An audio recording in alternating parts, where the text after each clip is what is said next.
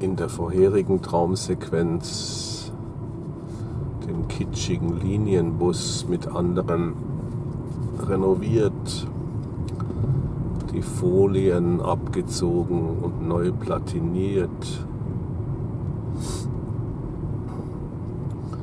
Im zweiten Traum breiter Fluss, die Schuhe schwimmen vorbei. Man lässt sich den ganzen Fluss hinabtreiben.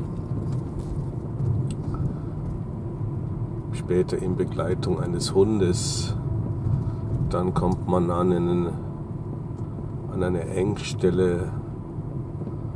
Ein Clownwurm aus einem Ring heraus stellt sich als Werber für sein Theatertanzlokal heraus. Von da muss man ein paar Treppen an der Flussseite hinabgehen, bevor man sich wieder weiter treiben lassen kann.